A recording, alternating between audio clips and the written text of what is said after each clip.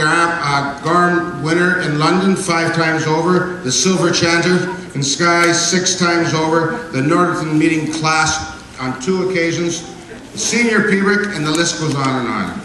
In 2003, he was made a member of the British Empire in recognition for his services to piping, an honour from Queen Elizabeth.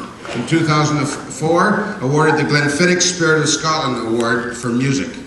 And in 2008, he was instrumental in the formation of the Spirit of Scotland Pipe Band. He's the founding and current director of the National Piping Centre in the heart of Glasgow.